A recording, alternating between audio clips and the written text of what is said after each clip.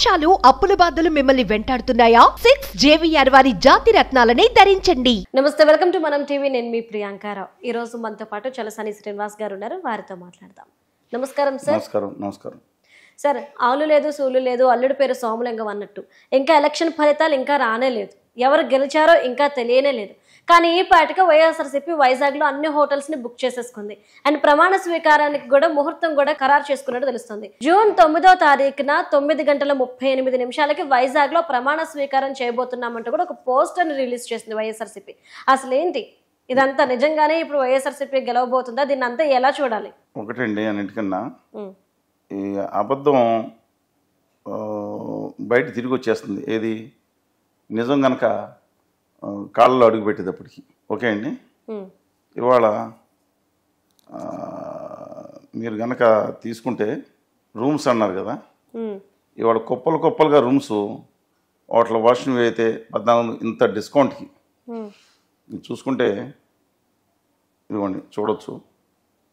ఇక్కడ శుభ్రంగా మరి ఇవన్నీ కూడా బ్రహ్మాండమైన డిస్కౌంట్కి అవైలబిలిటీ ఉన్నాయి. అందువల్ల ఏదో ఇరవై రూములు యాభై రూములు వంద రూములు అది ఇంకో మహా అయితే ఇంకో వంద రూములు హైప్ కోసం. ఇప్పుడు ఎంత రిఫ్లెక్ట్ కావాలి కదా? ఒక ఏదో రాడిసన్లో కొంతమంది వచ్చి ఉండొచ్చు కానీ మిగతా హోటల్లో దశపల్లా కానీ మిగతా నెంబర్ ఆఫ్ హోటల్స్ కూడా కనుక్కుంటే ఏం భారీ బుకింగే లేదన్నారు. ఇదంతా ప్రచారం అనుకుంటాను. ఇదంతా ఒక విధంగా మైండ్ గేమ్ కూడా అయి ఉండొచ్చు. కొంతమంది ఖచ్చితంగా జగన్మోహన్ రెడ్డి గారి వరకు తాను నమ్మి ఉండొచ్చు. మిగతాది మైండ్ గేమ్ కొంతమంది బుక్ చేసుకున్న మాట వాస్తవం ఉండొచ్చు. అందువల్ల బహుశా ఇంత ముందు ఎప్పుడు ఇలా జరగలేదు.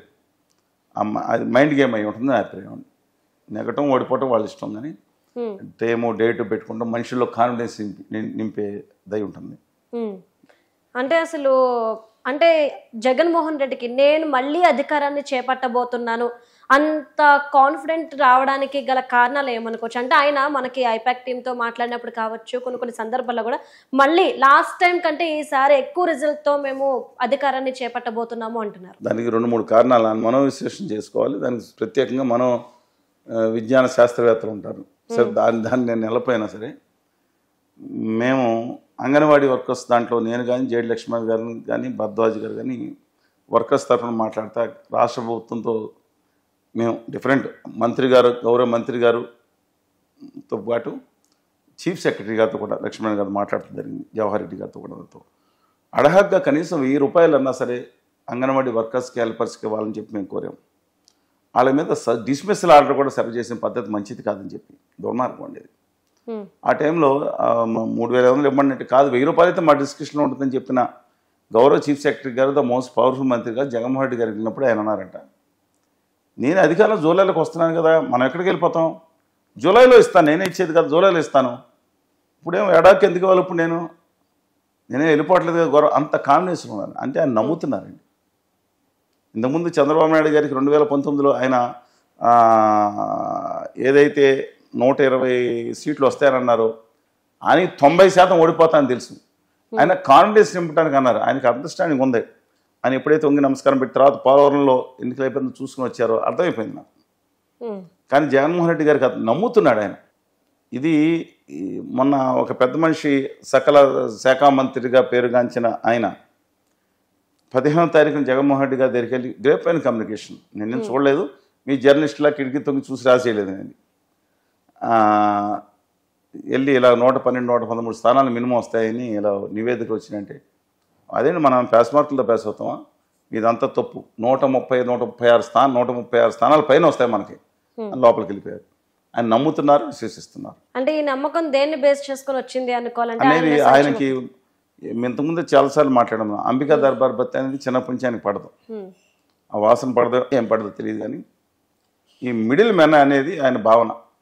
ఈ ఎమ్మెల్యేలు కూడా అదే విధంగా అనుకుంటారు ఆయన. ఎన్టీ రామారావు గారికి ఎలా లేకపోయినా ఒక భావన ఉండేది. నేను ప్రజలు. సమాజమే దేవాలయం ప్రజలే దేవుళ్ళు అని వాళ్ళు ఎన్టీ రామారావు గారి జయంతి సందర్భంగా ఒక మాట ఆయన గుర్తు చేసుకున్నాం. సమాజంలో ఒక గొప్ప నేను యుగ పురుషుడి చెప్పకపోయినా ఈ తెలుగు నాట ఈ జాతి ప్రతిష్టని ఇముడిపించి చేసిన మహోన్నతుల్లో ఒకడు. వాళ్ళు రోజు వచ్చిందిగా చెప్పారు. ఆ తర్వాత జగన్మోహన్ రెడ్డి గారు ఏమనుకున్నారంటే తను చేసే సంక్షేమ పథకాలు ఏవైతే ఉన్నాయో ప్రజలకు డైరెక్ట్గా ఇస్తాను అవినీతి లేకుండా చేస్తున్నాను సంక్షేమ పథకాల వరకు పేరు ఉమ్, సరే లిక్కర్ దందాలు ఇవన్నీ వేరే ఉన్నాయి మా తర్వాత మాట్లాడదాం. నోబడి అయితే దాంట్లో ఏం జరుగుతుందో కూడా తెలియని పరిస్థితులు ఉన్నాయి. అందువలన ఈ నేను ఇచ్చాను డైరెక్ట్గా. వాళ్ళ అక్క చెల్లెళ్ళు అన్న తాతయ్యలు అవ్వలో నాకు వేస్తారు ఇది ఇది బ్లంట్గా ఆయన ఒక లోపల ఉన్న నమ్మకం అని భావించాలి. ఆంధ్రప్రదేశ్ ప్రజలు కూడా ఒక హీరో వర్షిప్కి ఒక సింపతికి అలాగే తనకి ఇచ్చిన వాళ్ళు ఎవరైనా సాయం చేసిన తిరిగి రుణం ఏదైనా తిరిగి చేయాలనే కాన్సెప్ట్ ప్రతి ఒక్క మైండ్లో ఉందండి. అర్బన్ అంటే అర్బన్లో అర్బన్లో ఉన్న వాళ్ళకి లేకపోయినా విలేజ్లో ఖచ్చితంగా మహిళలకు ఉంటుంది. మహిళలు కనుక ఇవాళకి అరవై శాతం అబౌవ్ డెబ్బై శాతం మహిళలు అర్బన్ సెంటర్స్లో ఏం వేసినా సెవెంటీ ఎయిటీ పర్సెంట్ సీట్లు కూటమికి వచ్చేటట్టున్నాయి. కానీ గ్రామీణ ప్రాంతాల్లో మాత్రమే ఉందండి ఇష్యూ. అందులో అరవై ఐదు డెబ్బై శాతం మహిళా ఓటర్లు కనుక జగన్మోహన్ రెడ్డి గారికి వేస్తే మా ఎన్మాసలో ఆయన తిరిగి రావడానికి ఇది అసాధ్యం అనిపిస్తుంది. సాధ్యమయ్యే ఛాన్స్ ఉండదు. కానీ otherwise there no chance for Jaganmohan Reddy గారు టు కమ్ బ్యాక్ ఒక్క అంశం తప్ప. అందుకని ఆయన కాన్ఫిడెన్స్ లెవెల్స్ అట్లా ఉన్నాయి. దాన్ని మనం చేస్తే ఎవ్రీబడి ఓన్ ఇదండి. ఇది. అంటే సార్ ఇప్పుడు సుపరిపాలన అంటే కేవలం సంక్షేమ పథకాలు అందించేస్తే సరిపోతుంది? ఎందుకంటే ఈరోజు జగన్మోహన్ రెడ్డి గారు కావచ్చు అంటే వైఎస్ఆర్సీపీ మొత్తం కూడా ఈ సంక్షేమ పథకాలను బేస్ చేసుకొని మేము గెలుస్తామని అనుకుంటున్నారు. అసలు నిజంగా సంక్షేమ పథకాలు అందిస్తే సరిపోతుందా? ప్రజలకు ఇంకేం అక్కర్లేదా? ఖచ్చితంగా సంక్షేమ పథకాలు అవసరము. వాటితో పాటు ఇంకేం? ప్రజలకు అవసరము. ఖచ్చితంగా అవసరము. ఉం. ఎఫిలియంట్ కమిటీలు ఉన్న. కోట్ల కోట్ల లక్షల కోట్ల రూపాయలు పదమూడు లక్షల ఇరవై నాలుగు లక్షల కోట్ల రూపాయలు రాసి పడేసి వాళ్ళు వెస్ట్ ఇండియా కంపెనీ వ్యాపారులకి వాళ్ళందరికీ వందల కోట్లు వాళ్ళు ఎగ్గొట్టేసి వాళ్ళందరూ వందల వేల కోట్లు ఉంటారు. సామాన్యులకి మాత్రం ఏడు చచ్చిపోతున్నారండి కొంతమంది. ఎవరికి ఇవ్వాలి? సామాన్యులకి ఆ పన్నులకి ఇవ్వాలి. ఆ కంటే అవసరం పడిన వాళ్ళకి. దానికి ఖచ్చితంగా సంక్షేమ కానీ వీళ్ళు చేసేదంటే గుత్తగా ఇచ్చేస్తున్నారు. మీకు అర్థమైంది కదా. నేను సంక్షేమ పథకాలు వెతికి కానీ సంక్షేమ పథకాలను ఓట్ క్యాచింగ్గా చేయడం మాత్రం తప్పు మీరు అన్నారు. దాంతోపాటు అభివృద్ధి ఉండాలి. నేను అడుగుతున్నాను ఆంధ్రప్రదేశ్లో రెండు వేల పద్నాలుగు నుంచి ఏం అభివృద్ధి కార్యక్రమాలకి ఇండస్ట్రియల్ ఇన్సెంటివ్స్కి ఎంత పెట్టారు? బడ్జెట్ తీయండి రెండు వేల పద్నాలుగు నుంచి ఇరవై ఇరవై నాలుగు వరకు. ఇంతకుముందు గవర్నమెంట్ ఈ గవర్నమెంట్ ఎంత పెట్టారు? సంక్షేమ ఇన్సెంటివ్స్కి ఎంత ఇచ్చారు? ఎంత క్లియర్ చేశారు? రిలీజ్ అది రారు ఇండస్ట్రియల్ ఇన్సెంటివ్స్కి యువత ఉపాధి కోసం ఎంత ఖర్చు పెట్టారు? రాష్ట్ర ప్రభుత్వం. సబ్సిడీ ఇండస్ట్రియల్ సబ్సిడీ కింద లేకపోతే యాన్సిలర్ ఇండస్ట్రీస్కి ఇచ్చిన డబ్బులు ఎంత? రెండు వేల కోట్ల. ఎందుకని దాని మీద దృష్టి పెట్టి ఏళ్ళు నాలుగు తిట్టుకుంటాం నాలుగు తిట్టు వీళ్ళు తిట్టుకుంటాం. మళ్ళీ ఇది శ్రీలంక అయిపోతుంటాం ఆలోచి డబల్ ఇస్తానంటాం. డెబ్బై వేల కోట్లు పంచిపెట్టాడు ఇలా అయ్యి జాగీర్ అని ఒకడు ఒకళ్ళు అంటారు. మరి ఆ లక్ష యాభై వేల కోట్లు వచ్చి లక్ష డెబ్బై వేల కోట్లు పంచిపెడతానంటున్నారు. ఎవరు జాగీర్ ఇది? జగనన్న కానుక చంద్రన్న కానుక ఆ, ప్రధానమంత్రి కానుక ప్రధానమంత్రి ఇచ్చాడు వీళ్ళ ప్రధానమంత్రిగా గుజరాత్లో ఆయనను ఆయన నూలు వడికి ఆయన వచ్చిన డబ్బుల నుంచి ఇచ్చినారా? జగన్మోహన్ రెడ్డి గారు ఇచ్చారా? చంద్రబాబు నాయుడు గారు ఇచ్చారా? రాజశేఖర రెడ్డి గారు ఇచ్చారా?